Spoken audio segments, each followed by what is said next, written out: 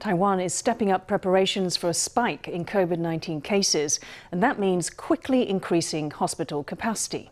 Negative pressure isolation rooms are a key part of effective quarantine in hospital, but they cost 3 to 8 million NT apiece. With bed spaces running out, the race is on to reduce the cost.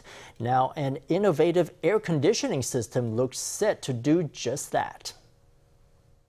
National Chin-Yi University of Technology and the Ministry of Science and Technology are working together to rise to the challenge of COVID-19. This air conditioning unit is the first to be made with a heat exchange technology that allows it to fill the room with fresh air from outside. It can help hospitals set up new negative pressure isolation rooms rapidly.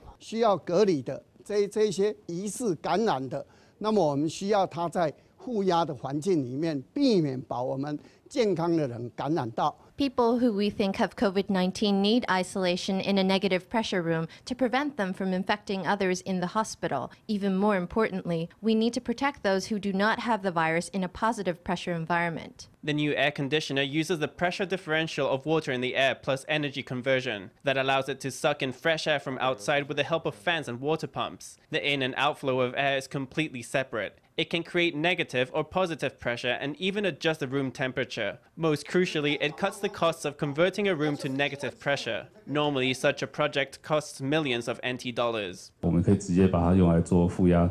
那假如说 We can use it to create negative pressure rooms. If those rooms can be used for quarantine or to isolate suspected patients, it will be very useful for healthcare workers. Taiwan only has 1,100 beds in negative pressure isolation rooms. Less than 400 are currently free. If the epidemic continues to grow, this innovation could be a key to help set up new isolation rooms in time.